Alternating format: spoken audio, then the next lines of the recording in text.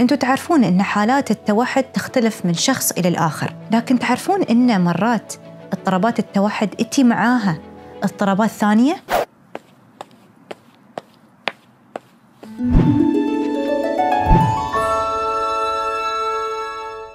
في حلقتنا اليوم نتكلم عن شو هم الاضطرابات الثانية اللي تجي مع التوحد. فلا بد تعرفون شو التحديات التعليمية اللي ممكن يواجهونها عشان تساعدونهم. الشيء الثاني تعرفون إن 22% من اضطرابات التوحد تجي معها الصرع. فلا بد تعرفون شو هو الصرع وكيف تتعامل مع الصرع. الاضطرابات الثانية اللي تجي معاها هي تشتت الانتباه والقلق وفرط الحركة واضطرابات الأكل واضطرابات النوم. فلا بد تعرفون شو أنواع اضطرابات اتي مع التوحد عشان تعرفون كيف تتعاملون بالطريقة الصحيحة